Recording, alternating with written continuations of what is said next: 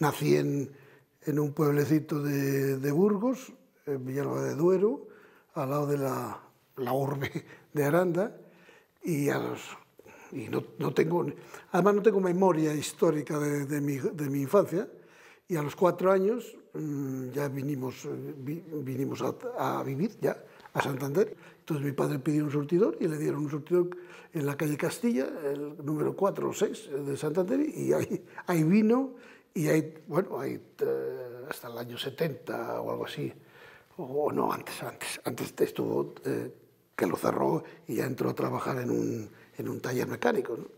Toda la vida eh, hemos, hemos estado ligados a la mecánica nosotros, claro, hemos estado ligados a la mecánica precisamente porque el, el, el surtidor estaba situado en, en, en, los locales, bueno, en la acera, pero de, eh, primer, de, los grandes distribuidores de, de, automóviles y y, y de, primero, Ignacio Palacios, que era de Ford, y de Firestone, y, de, y luego de, Miguel Arroyo, que fue el que trajo las Vespas, las SEAT, eh, y no sé si otro, el, Barreiros, todo eso hizo que, eh, por ejemplo, yo eh, conociera y ha, ha, sido un seguidor de la industria eh, automovilística española porque yo a partir de los 14, 15 años, 15, no sé, y eso lo tengo de memoria, pues ayudaba a mi padre para que mi padre pudiera ir a comer, por ejemplo, y, o los domingos eh, eh, para que descansara, pues le, le, sustituía yo. Porque mi hermano mm, algunas veces, pero eh, como solamente venía en vacaciones, pues entonces el que al día a día era yo. Yo vivía en la calle Madrid, que era el final, el final ¿eh? después lo que se veía eran los arenales, o sea, todo lo que hay de Castilla Armida, eso eran arenales, solamente eh, había una casa, que, creo que se llamaban la casa de Catiuscas, que me imagino que es porque abajo a, habría un, una fábrica de, de pero no había nada, no había nada, estaba el barrio pesquero, lo que es el barrio pesquero nada más, y en medio arenales, y los chavales, los chavales, no, iba a decir chavales, no, los chavales eh, jugábamos eh, alrededor de los pasionistas, porque el, los pasionistas eh, era un centro, lo que yo llamaría por un centro cívico, ¿no? O social, ¿no? Eh, había una banda de, de, de tambores, de, de, tambores y cornetas, había un, un cine todos los sábados todos los domingos, entonces ahí los, y había, tenían una huerta preciosa, entonces le, los chavales nos juntábamos a, a, alrededor de ahí y luego ya pues, al, al, muelle. Claro, es que esta concepción, ahora el muelle, el muelle formaba parte de la vida diaria porque no, no había verjas, no había, eh, prohibiciones. ¿no? Eh, hay un personaje fundamental en mi vida que es eh, eh Miguel Bravo, que es, el cura que estaba en el barrio pesquero. Y entonces es un personaje que que a mí personalmente me abre un montón de, de ojos, ¿no? Porque, primero, habla de lo que no hablaba nadie, no, y además no habla de Dios, no habla de la iglesia, o por lo menos conmigo. Vamos, conmigo y con los que yo estaba.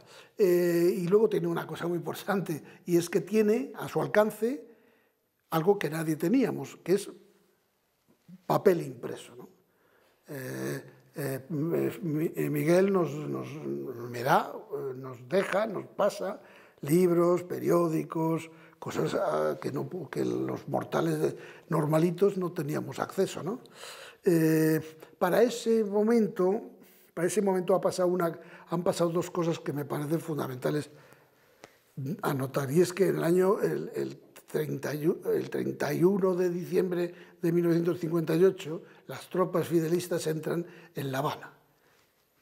Como, como dato anecdótico, yo guardo todavía el periódico del diario Montañés del 1 de enero del 59, que a toda plana venía. ¿no?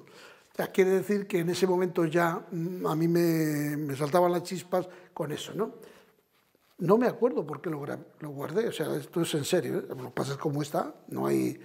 Entonces, y también hay otro, otro hecho fundamental, y es que eh, eh, los, los, los, um, los franceses interceptan un avión en que va a Benbella en, y, el, primer secuestro aéreo de verdad lo hace el, gobierno francés, ¿no? Y detiene a Benbella. Esto produce, en un proceso que creo que termina en el 62 con los acuerdos de Avians, eh, la independencia de Argelia, el FLN, ¿no? Entonces, esto, que a, nosotros en España nos llega también, o sea, lo uno por, por Cuba, porque son hispanos, y el otro porque está en la frontera, está ahí al lado, pues eh, es, todo esto es lo que eh, empieza a, moverme a mí y a más gente. Y entonces ya empiezo a encontrarme con más gente de mi edad, más o menos, que, eh, hemos que estamos evolucionando. Y ahí, ahí, ahí está el... Eh, mi caldo de cultivo de inicia, inicia, iniciático se da en el barrio pesquero realmente. ¿no? Yo empiezo a, lo he dicho antes, con el barrio pesquero, con, cuando Miguel empiezo a, y empiezo a, a, reunirme con gente, con otros que piensan más o menos como yo, y, y entonces es verdad, yo entonces eh, eh voy, eh, vamos, trabajo, estudio el marxismo ¿no?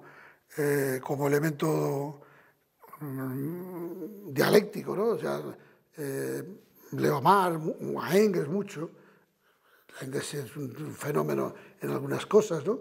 Y, bueno, y en, en, otros, eh, Franfano, en los, en, por ejemplo, en del argelino, eh, y entonces eh, el de Bre, bueno, total, que eh, eh, entró en lo que llamaríamos el marxismo, pero no, eh, el Partido Comunista de entonces era, era, a mis ojos y a los del grupito con el que yo me movía, era, bueno, era, era, era reaccionario de, de Cuyón. O sea, es que el, el, el, ten en cuenta que en el 56 ya firman aquello de la reconciliación nacional, o sea, eh, que había que ir con la Iglesia con el, hasta con el Opus. De, de, hay que ir a lo que entonces se llamaba, que ahora es curioso, ¿eh? a la revolución. Hay que hacer la revolución.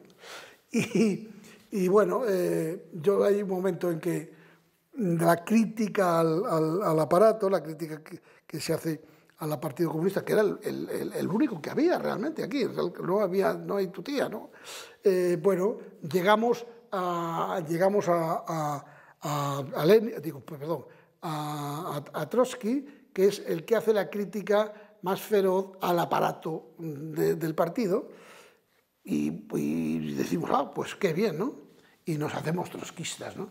Es una, una, entelequia eh, universal, ¿no?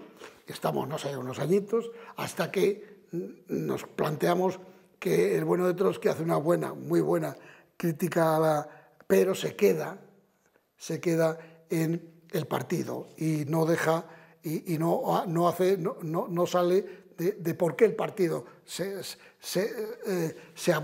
¿no? Utilizábamos los bailes como por lugares de reunión porque se podía hablar, no te oía nadie. claro. Eh, bueno, cada uno buscaba su... A otra gente usaba mucho el campo, las excursiones, ¿sí? Las iglesias, se, se buscaban. Entonces, bueno, de ahí empieza la crítica y vamos, yo, yo abandono el, el, la idea del trotskismo y empiezo un proceso que va a durar, yo qué sé, cinco, seis o siete años, o por lo menos, a leer y, y, y, y elaborar y hasta llegar a encontrarme con el anarquismo como, como ideología, como historia e tal. Y desde entonces, pues ahí sigo, más o menos, con, con bueno, sigo ahí en esa, en esa banda eh, ideológica, ¿no? Y es en esa banda cuando el 70 y poco, 74, 75, no me acuerdo, 75, eh, con, un, con un grupo de gente con, creamos, eh, reconstruimos la CNT en Cantabria y, y, bien, hicimos un trabajo y, y muy bonito sobre todo cultural y, y, y popular. Y la fundamos, la organizamos gente que no habíamos estudiado nada de la CNT, no sabíamos prácticamente desde el punto de vista orgánico que se dice nada, ¿no? Porque aquí no había nada, no había nadie, ni nadie nos, nos dio material, ¿no? Pero eh, habíamos ya, sí, hombre, habíamos leído a los, a, a los teóricos, ¿no? y habíamos leído los libros que se había de, historia de la guerra, de, eso sí que es, porque ya, ya, ya a partir del 70 y poco ya se empieza a producir libros, a editar libros en España. ¿no? Y nosotros eh, creamos la, la CNT, y había unos sindicatos, lógicamente, y luego creamos el Ateneo Libertario, que es el, un, lugar de, de, desarrollo ideológico, desarrollo cultural, y dado, hay un grupo de gente que se dedica más a los sindicatos y otro grupo de gente que nos dedicamos o que se dedican más a lo a lo cultural, diríamos, a lo libertad. Y el, Ateneo, bueno, fue un momento eh, álgido. Es en ese momento es el lugar eh, eh, cultural más importante de la ciudad, sin ninguna duda, ¿no? Con, con esto, con, con ciclos. Hay un ciclo sobre la historia de Cantabria que, que por los personajes que fueron es irrepetible porque ya no se les puede juntar, porque no irían. En el mercado de ganado de Torlavega, que se llenó, pero juntamos, eh, tampoco puedo decir el nombre de, de, los grupos, pero cuatro o cinco de los grupos de las bandas de rock más famosas del momento, y mm, de teatro, eh, poetas, eh, de folcloristas de Cantabria, tinglao, ahí, ahí, sí que pagamos, a los, a los a los eh, grupos, están las, teníamos yo tenía las, facturas, un tinglado, pero impresionante. Eh, bueno, nos dedicamos a eso y, lo hicimos, y nos lo pasábamos, porque había una cosa, es que nos lo pasábamos bien. Llegó un sitio donde te ponían faltas de orden. Eh, llegó un sitio donde no te podías levantar sin permiso de, del profesor. Llegó a un sitio donde nadie podía cuestionar nada. Llegó a un sitio donde todavía uno de, los alumnos fue con pantalón corto, que entonces no es como ahora, ¿no? El pantalón corto era, el, era el, paso a la pubertad, ¿no? Es largo, ¿no? Eh, lógicamente, los, los, los, chicos en una y las chicas en otro, con dos, con dos direcciones, dos, dos, todo, todo separado. ¿no? La formación ninguna, eh, ninguna. como desde el punto de vista formativo, ninguna. Desde el punto de vista memorístico, pues había pedagogía, había psicología, paidología, había esto, filosofía, había física, química, eh, matemáticas, francés, mm, prácticas de enseñanza, caligrafía, trabajos manuales, educación física, política, en tercero creo que había ciencias naturales y historia de la literatura y literatura, en tercero, más o menos esas eran las asignaturas que había. ¿no? Nos hacía aprender, por ejemplo, nos hicieran 15 o 16 definiciones de educación distintas. ¿no? Fíjate tú la, el valor el valor pedagógico que tiene aprenderte definiciones de educación. ¿no? Lógicamente, el libro, eh, el libro era gordo, muy gordito, las últimas páginas de todo de la escuela moderna y todo eso, yo no me acuerdo de haberlo dado. Lo he visto después con el tiempo diciendo, ¿cómo?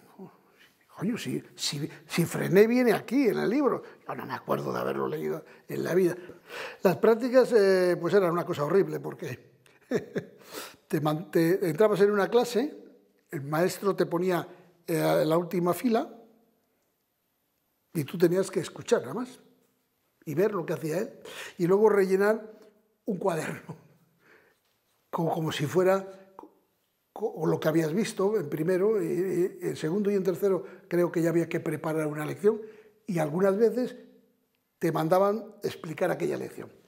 Pero yo tuve mucha suerte, un año, creo que fue tercero, que como las hice, las hice libre, porque a tercero ya no fui, ya no pude ir al de oficial, porque ya no, no me dejaban, eh, pues tuve mucha suerte. El, día que, el, segundo día de ir, el maestro con el que estaba, Esteban, tío, dentro de lo que había muy majo, eh, pues se puso malo y no fue. Entonces, el profesor de Alao me dijo, hazte cargo de la clase. Y estuve todo el tiempo haciéndome cargo de la clase, pero claro, obviamente, para mí fue un aprendizaje terrible, porque era la primera vez con 40 eh, criaturas, yo creo que eran de cuarto, de quinto, me parece, por la edad. y, me lo pasé como un enano, porque claro, eso de estar atrás así, pues es, es, que, es que, por favor, ¿no? ¿Qué, ¿Qué, hago yo aquí, no? Entonces ya por lo menos, o sea, bien, mira, mira, en ese terreno las prácticas, por esa suerte que tuve, eh, no me fueron mal, no. Pues la, primera, bueno, la primera es cachonda. La primera, la primera, yo creo, yo creo que todavía no tenía el título, no había aprobado la oposición, porque fue en diciembre, me parece, es en la Neja, precisamente. Eh, se pone malo Arturo, el, profesor, el maestro de las mayores, y yo no me acuerdo por qué llegué allí, pero fui. Y estuve pues todo el mes de diciembre, o sea, un poco, pero el todo el mes. y por eso se podía hacer entonces, y te pagaba el maestro. esas historias y entonces me acuerdo de porque entonces había un programa en la televisión que se llamaba Cesta y Puntos, eh, que era un compendio de, cesta y preguntas. bueno, una cosita así. Entonces, como aquellos eran unos chavalones, ¿eh? los de octavo, y eran muchos, pues se me ocurrió para animar al personal, eh, oye, ¿por qué, no, qué os parece si les pareció bien? Hicimos las reglas, las preguntas, y uno de los días estábamos en, en, plena concurso y aparece por la puerta Ricardo, el, director, y mira así, me llama, salgo, fue educado, que otras veces entraba, ¿eh? y me ¿qué, qué, estás haciendo? Y le expliqué lo mismo, pues es, ah, bien, bien, bien, pero luego cuando vengues del recreo, pones las mesas eh, eh, en su sitio. Pues pues para, hacer el, eh, para hacer el concurso había que modificar la estructura física, ¿no? Lógicamente le hice caso y punto. Bien, tengo un recuerdo de eso. Y luego un recuerdo de otra semana o semana y media que fui también a ayudar a un colega, a un compañero, que fui a, José María de Pereda, a donde había ido yo de alumno, y también me tocó los mayores, y también tengo un recuerdo muy bonito. En febrero del 67 eh, es el primer nombramiento oficial con sueldo, para entendernos, con nómina ya. ¿eh? eh y voy al barrio Covadonga, a Torlavega yo no, sabía, yo no había ido a lado. Bueno, eh, yo, yo, creo que a lo mejor nunca. ¿eh? eh fui, voy a, entro al barrio, había un, un, bar al, al, principio, entré y dije, por favor, ¿me dice dónde está la escuela? El del bar me mira así y dice, no, no, aquí en el barrio no hay escuela. ¿Cómo no? Yo que iba con mi título eh, de nombre, eh, sí, sí, que es, no, no, aquí no hay si, es que yo soy el maestro. Y me dice, pues vete a la iglesia y pregunta, la iglesia la estaban construyendo, ¿no?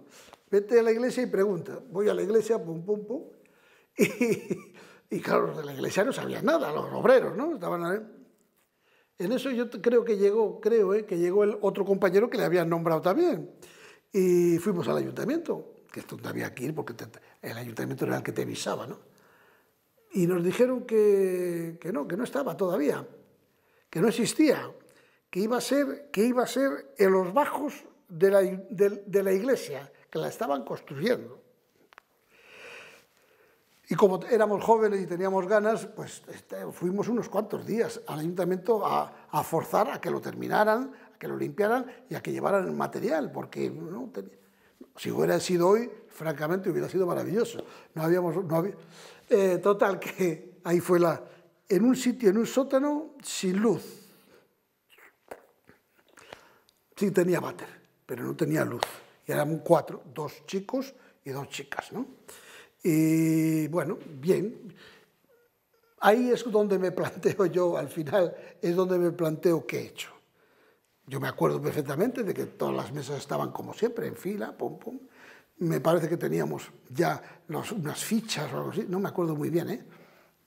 Mm, no me acuerdo, no me acuerdo de, de no me acuerdo de, de, de, exámenes, pero los haría. Pero al terminar el curso es cuando digo yo, ¿y, y qué coño he hecho yo aquí, no?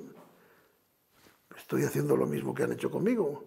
Esto no puede ser. Me, planteo que si tienes eh, si tienes eh, una idea de un cambio de sociedad, si lo que te quieres es, tú no puedes querer que esto funcione A y tú funcionar en B. No, no es lógico. Vamos, me planteo, me planteo que no es lógico y es cuando empiezo a, mm, diríamos, a buscar. Porque claro, yo no sabía absolutamente nada. Yo cuando voy a la escuela eh, hago lo que me habían hecho conmigo. Eh, abre el libro, eh, un dictado, unas cuentas y punto pelota. No, no, no. al terminar ahí es cuando me planteo qué hacer, ¿no? Y, y, tengo borroso, tengo borroso si es en el momento en que me encuentro con un grupo de gente que está, que está montando un colegio,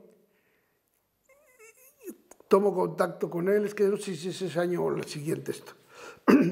y mm, igual es al año siguiente. Y empiezo a leer, mm, vamos, fundamentalmente cosas de Frené, porque es que yo no sabía ni que existían cosas. Mi ignorancia era supina, o sea, no, no, no hay... No hay, no hay pero me, toca ir a, este, a, a, Peña Castillo, que se llamaba, no me acuerdo cómo se llama, se llamaba Marqués de, Marqués de Estella, qué bonito. Marqués de Estella es el padre de José Antonio, primo de Rivera. Eh, el Marqués de Estella, eh, y tengo también los mayores, los que no van al instituto los que se quedan. E, este, este, este, acotamiento que hago es muy interesante, porque son las clases que no quiere nadie, porque son los que no sirven para nada. Y yo he tenido la inmensa suerte de trabajar en, por lo menos dos veces en dos sitios distintos con esta gente. Y claro, esto es buenísimo, porque como no espera nadie nada, puedes hacer lo que quieras, porque siempre, siempre sale. A partir de ahí es donde he empezado. Luego ya cuando conecto con, con la gente de, Torreblanca, que era el colegio que decía antes, y mm, me explican y me dan libros eh, en francés, en francés, eh, de Frené, pues coño, que me entero de... Ya me doy cuenta que lo que yo había hecho había salido mal porque no había aplicado las técnicas adecuadas, porque ya veo, digo, si esto lo ha hecho este señor eh, hace 50 eh, años y le ha salido bien. Y ese, es mi proceso mm, brutal, ¿eh? porque lo demás es ir limando, ¿no? Eso es ir buscando más, pero ese es cuando te, das de bruces y dices, ¿qué coño he estado haciendo yo, no? Y entonces, claro, allá, allá es, es un sitio donde ya empecé a desarrollar ¿eh? correspondencia, eh, eh, equipos, asamblea, esto, salida a fin de curso en campamento. Ya, es un, ya hay un, ya además conozco ya a, compañeros con los cuales estoy empezando a trabajar. Eso te obliga, eso te ayuda, ¿no? Es que si no solo... yo paso del, círculo católico, que repito, no había más que una tarima y una mesa y una pizarra, y en un sitio donde es de los que más he trabajado y mejor, porque, bueno, por una serie de, experiencias con aquella gente que no tenía ninguna perspectiva del mundo, porque eran los que no iban al instituto, eh, y paso hay al, al Torreblanca, donde es un colegio, frené oficialmente. Y donde tengo un aula para mí y otra para mis talleres. O sea, mm, y donde un día me enfado con el, con el autobusero, que era un pesado, y, y decidimos comprar una, una DKV para, para ser nosotros autónomos y, y, se contrata a un, a un chofer que era amigo mío. O sea, así, esa es la historia, ¿no? Claro, no es lo mismo no es lo mismo ni las perspectivas son las mismas, pero no es, menor, no es más rico ni menos rico. ¿eh? Pues claro, mm, yo, yo estaría seguramente más contento del, círculo porque trabajar con gente de una determinada... Y, que entonces se te tienen que ocurrir miles de cosas para poder dar salida a eso. ¿no? O sea, eh, ahí en el círculo se me ocurrió una idea que ya yo no la he descubierto yo, lógicamente, y es escribir una carta a todas las cajas de ahorros, que había entonces muchas, a todas las embajadas, a, empresas, a todas las delegaciones de turismo, diciendo la historia que nosotros éramos una escuela, que una, una clase y que nos gustaría el material para poder trabajar. Tuvimos decenas y decenas de envíos, materiales buenísimos, que nos servían para trabajar y luego y sobre todo para una cosa que es muy importante, dar importancia a tu clase, para que el alumnado, que era el alumnado así, se diera, se diera importancia, porque al, al colegio el cartero venía a traernos cartas a nosotros, no a la dirección. En Aviozo no, yo cuando llegué, ¿cómo te diría yo? Eh, mujeres no se veían en ningún lado, ¿no? Eso es como casi todos los pueblos. Los hombres iban al bar después de arreglar, se llama arreglar, después de aviar, eh, de sacar la, la leche, ¿no? Por la tarde, pronto, a las 7, era muy pronto. Y estaban allí todos viendo la televisión. Y bueno, yo no conseguí hablar, yo creo que con dos nada más. buenos días, sí, educadamente, pero pero el problema no eran los padres, es que el alumnado no, no, no, hablaba más que de vacas, ni de fútbol, que es una cosa... Y entonces dije, coño, pues yo tengo que... Yo de vacas... Entonces me puse a estudiar de vacas. Puse a estudiar de vacas, me hice un técnico, me hice un técnico de vacas. Eh, había un servicio de extensión agraria en Carriedo, en Villa Carriedo y bueno, no me acuerdo cómo conecté con él. Y bueno, la gente que había, encantadora además. Y les expliqué mi problema, me dieron material y bueno, coño, pues voy a hacer una, vamos a hacer una estabulación libre en maqueta, un plano así, pero así de grande.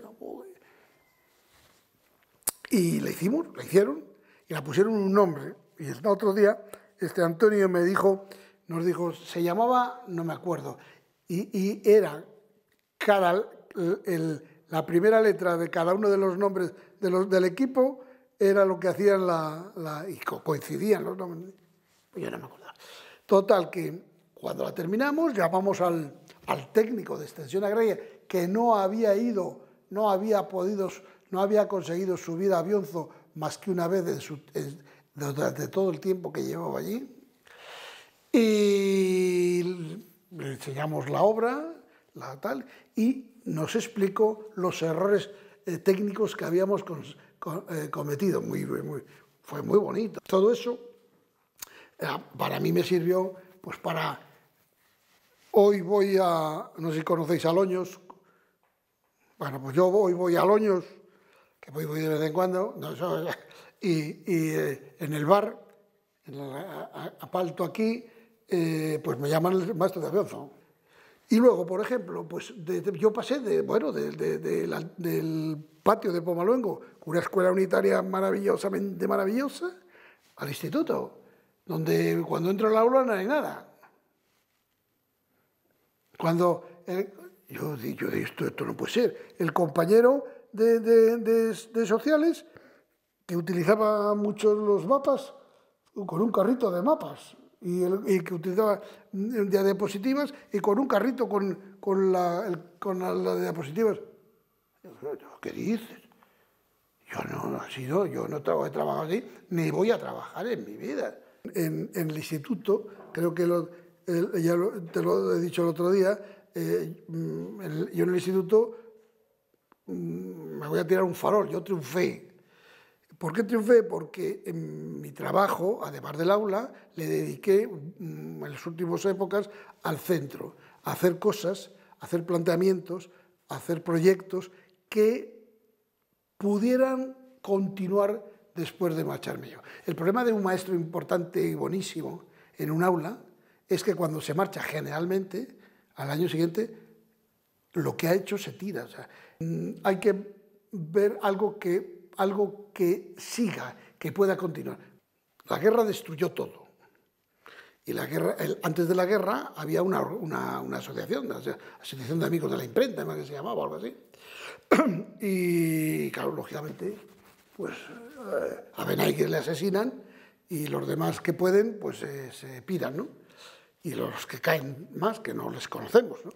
Eh, en el año 69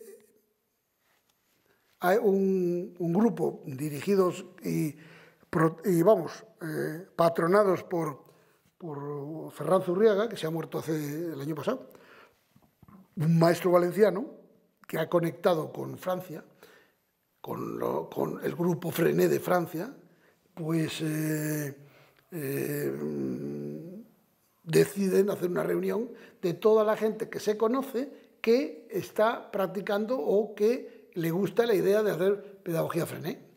Y el lugar que deciden es, Santander, por una sencilla razón, y es que la señora dueña del colegio Torreblanca pues eh, tiene vara alta para que nos dejen estar. Porque claro, 50 personas en un, en un sitio, aquello era absolutamente ilegal. Pero bueno, la señora tiene conexiones, es de la burguesía santanderina y bueno, no, no pasa nada, no, en absoluto. Y yo asisto, a, esa, a, ese encuentro y bueno, ya me sigo luego trabajando con, el colegio incluso y ahí empieza. Al principio somos alegales, se hace el, el, segundo encuentro es en Mislata, el tercero en Oviedo, pero llega un momento en que se plantea que hay que aprovechar de la eh, ley de asociaciones del año 66 creo que es, y hacer una asociación legal para podernos sin problema. Y se crea una, con el nombre de ACIES o algo así, porque no dejaban ponerlo de movimiento. Entonces se busca un nombre, un nombre eh, eh, neutro, ¿no?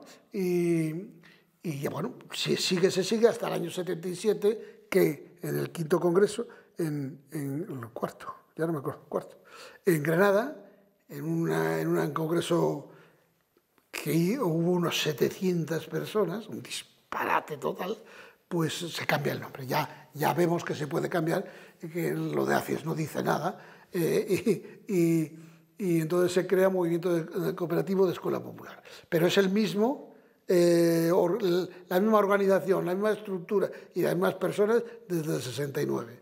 Y, y es, entonces es un grupo pedagógico eh, grupo sociopedagógico, nos definimos en los estatutos, que tiene implantación en todo el territorio de España, eh, de España unos, unas veces en más sitios, otras menos. Ahora estamos, como todas las cosas, en, la, en, en las eh, horas bajas, pero mm, entonces cada grupo, lo, lo, interesante es que cada grupo es, es autónomo en su, en su circunscripción. Nosotros somos el Movimiento Cooperativo Escuela Popular de Cantabria. Ya está y otros son de Castilla y León, otros son de Andalucía. Bueno. Entonces, y tenemos, bueno, la base ideológica es la pedagogía Frené y el cambio de, estructural de la organización. Eh, he estado que en tres veces, o sea, en tres periodos de, de, lo que se llamaba, lo que se llama ahora coordinador confederal, que es el secretario general, ¿no? Y luego, eh, hasta hace unos años, he, he sido el, el el responsable de, de publicaciones de, del MECEM, ¿no? Hace tres o cuatro años que lo dejé. Para mí uno, uno de los mayores proezas y que mantenemos todavía fue conseguir que el gobierno, que el ministerio nos validara eh, nuestro perfeccionamiento. O sea, el ministerio tiene, a través de los CEPS y de organismos paralelos, eh, tiene cursos y les lo valoran en horas mm, que luego sirven para eh, los famosos sesenios, ¿eh? que es una cuestión económica, ¿no? Cuidado, ¿eh? No, no, no es baladí. Y entonces hace muchos años que conseguimos que nuestras, nuestros talleres, en los congresos eh, o en los que hacemos en, en cada región, tengan una validez.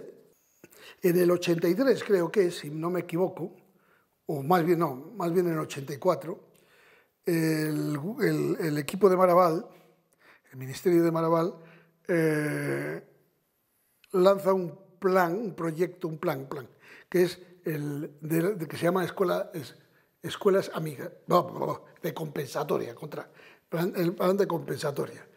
El, eh, que consiste, que se basa en, dice, hay lugares, barrios, y rurales, fundamentalmente, que tienen menos dotación, que tienen menos eh, elementos, que tienen menos eh, gente que, que, los, los, demás. Están infra, infrautilizados, infrapotenciados. Entonces, mm, dicen, ¿cómo lo arreglamos? Pues muy sencillo, poniendo más, por un lado, poniendo más personal y por otro, dando más material. Esa es la idea, más o menos. Y a lo mejor dicha desde alguien que no le gusta. Eh, nos convocan a todas las unitarias de Cantabria, o por lo menos de la zona, no sé, yo, yo estaba, eh, por lo menos de, yo creo que de toda Cantabria. Y nos, y nos reúnen además en un sitio maravilloso, en la Universidad de, de, de, Cantabria, allí. Y nos explican el, el proyecto, muy bien explicado, por cierto. Y pues no nos gustaba lo que estaban diciendo, ¿no? Y a mí, desde luego, nada. Porque yo ya sabía lo que estaban diciendo, porque ya lo había leído antes de salir, como al ser miembro de la comisión del Congreso, del, Congreso de MRPs, recibíamos, antes de que las normas salieran, los borradores, para que pudiéramos decir. Entonces, bueno, eh, no me acuerdo muy bien los detalles, pero lo que sí quedaron eh, la estructura que iban a hacer otra reunión, no sé qué. Entonces nosotros dijimos, oye, ¿por qué? ¿Por qué no nos juntamos nosotros y hacemos algo de esto? Si, si, los que, los que sabemos y queremos. Entonces, nos juntamos y desarrollamos un proyecto y, hicimos un, proyecto de, de escuelas amigas que era juntarnos en la idea las, las unitarias, luego hacer en la idea y la discutir y discutirlo en equipo. Y luego una base, juntar solamente lo que nos unía, no buscar lo que nos desunía, que era muchísimo, mucho más. Pero eso lo dejamos aparte. Luego, hacer una, tres, tres salidas al año todas las escuelas juntas. Dos en el centro de la región y una fuera. Hacer tres periódicos al año en el curso que tuvieran una parte colectiva que salía en todos los periódicos y otra parte de cada, de cada escuela. La colectiva se hacía en una imprenta y la, propia se hacía cada uno con los materiales que tenía. Eh, utilizar la correspondencia como elemento de, de cohesión, de información, de pregunta. Eh, ¿Qué más? Mm, eh, organizar, ¿eh?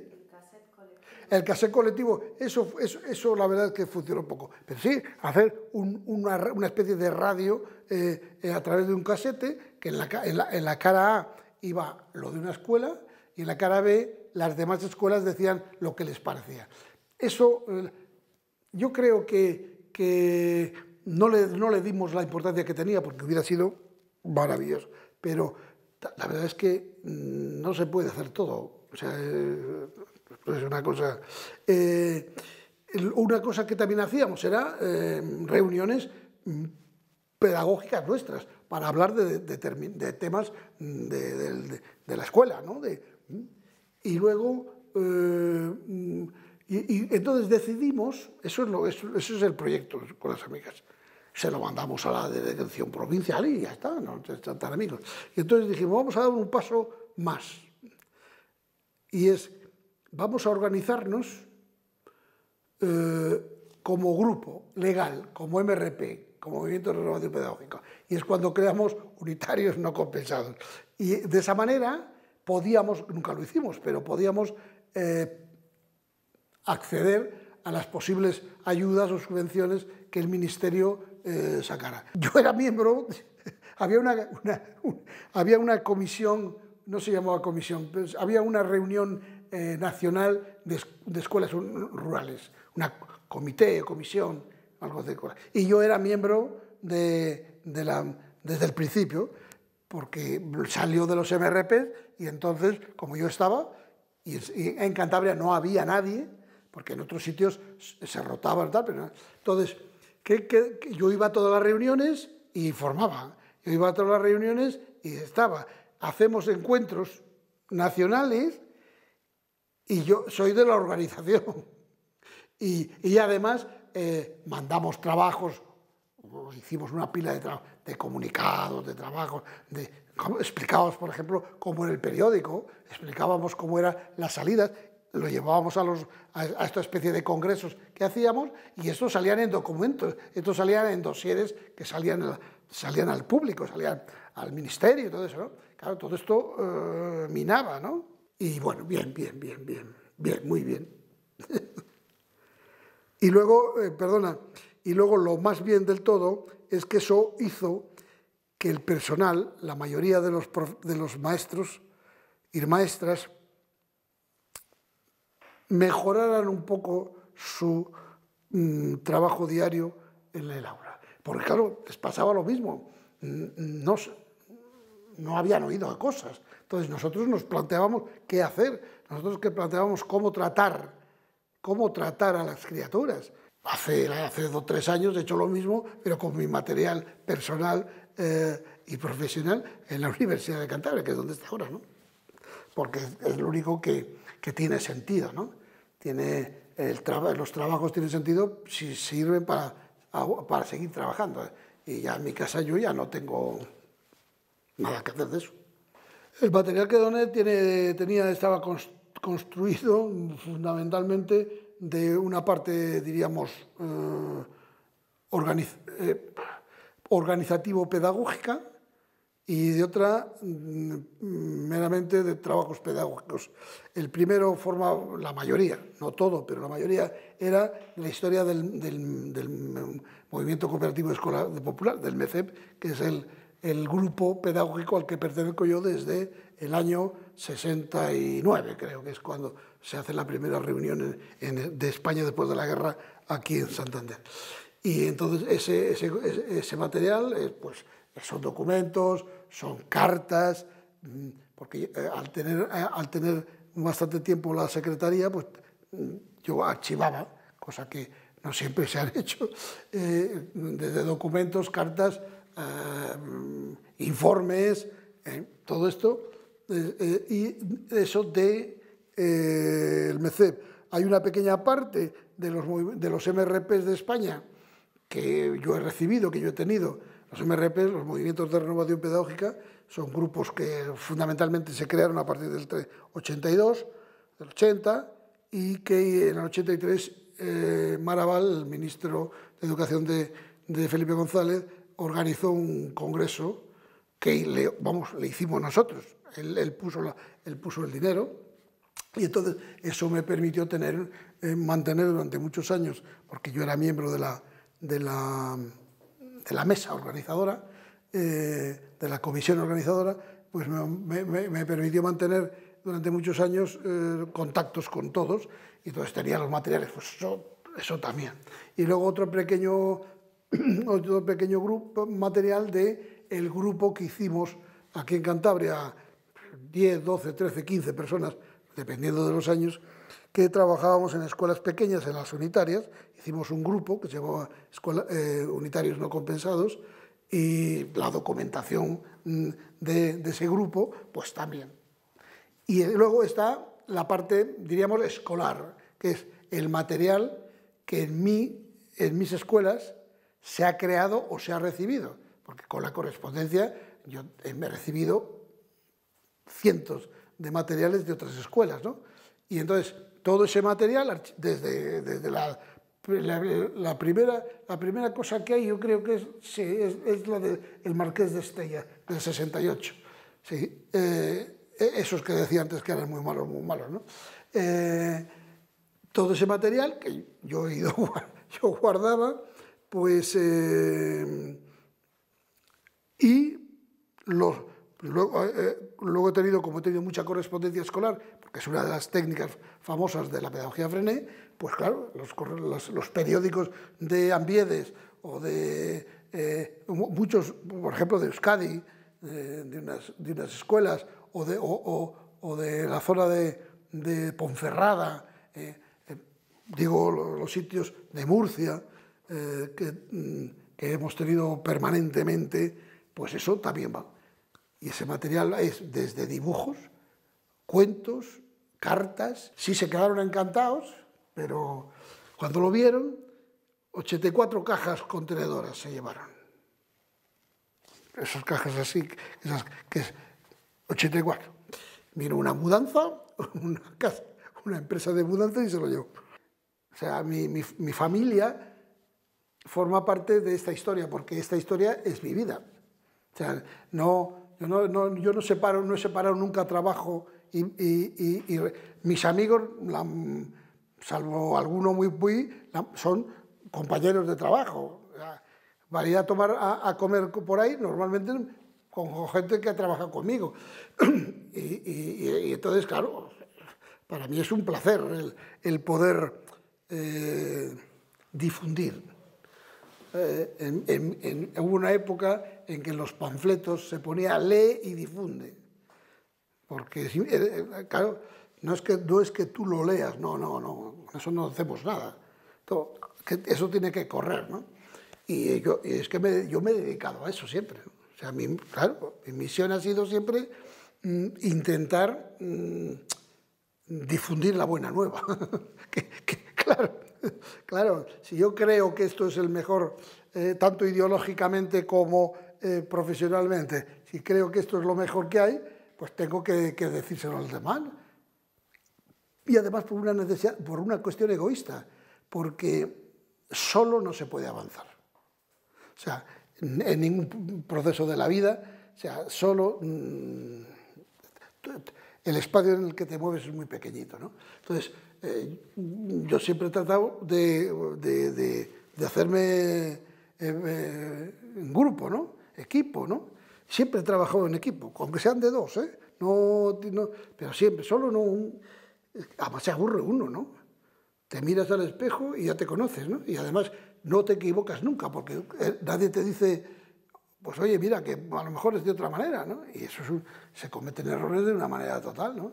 Entonces, es, un, momento, es un momento muy bueno para mí, el, porque ya, ya estoy eh, jubilado, cuando esto, cuando eh, la historia de, este maestro, del Antonio Antoni, como se quiera decir, Menayes, eh, aparece en nuestras vidas, aparece en el MC, porque eh, la primera referencia que tengo yo y es, es, a través del MECEP y la primera visita que, que hago a, a, Bañuelos, de Bureba, es con el MECEP en un congreso de,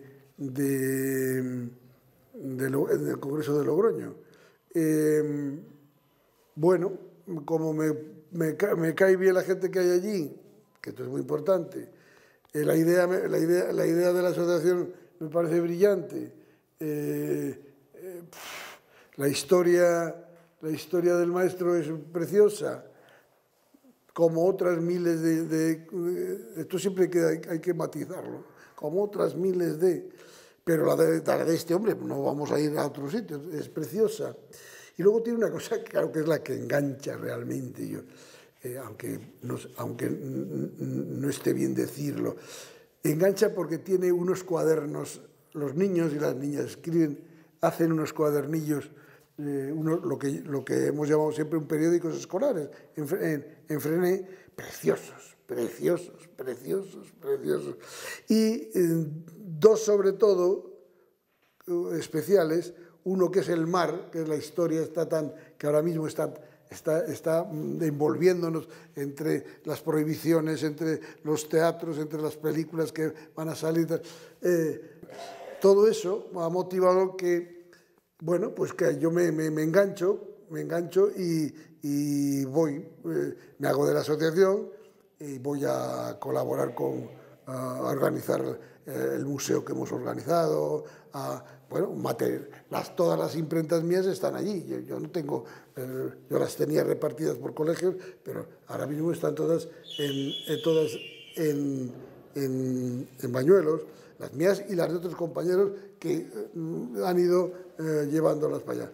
Y bueno, es, esa es mi, mi... Hace un mes he ido con, con la gente de UGT en un autobús eh, allí. O sea, eh, y luego he estado, la semana pasada hemos estado Marina y yo, Y esa, hay, un, hay una buena relación con la gente que vive allí y que lleva la... porque eso es fundamental, ¿no? Y, porque, y la idea del maestro, la idea de la, de la pedagogía Frenet, la idea de difundir lo que uno ha trabajado. Bueno, la misión de la asociación empezó siendo una que ya está superada, pero empezó siendo para reconstruir la escuela. O sea, por, el edificio estaba, pero estaba abandonado, había sido utilizado como almacén. Lo primero, recuperar la escuela y luego difundir la obra del maestro. Ese, esas son los dos, las dos patas que tiene la asociación. ¿Y qué es lo que hacemos?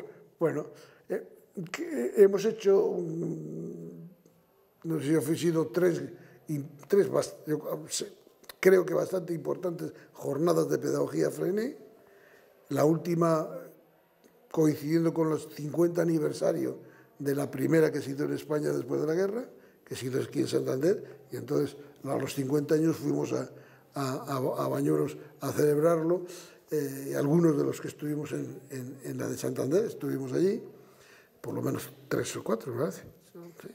Y lo que sea de todos los años es en, la fiesta del, del, propio pueblo, porque es una asociación que está en un pueblo, ¿no?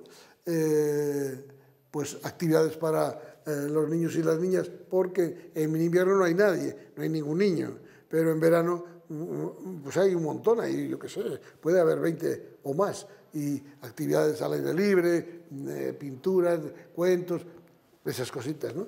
Luego lo que hacemos es eh, exposiciones. El tema asociativo no está ahora mismo en, en, lo más alto. ¿no? O sea que no, es cuestión de, ni de quejarse ni de no quejarse, es, es, es, la situación que hay, ¿no?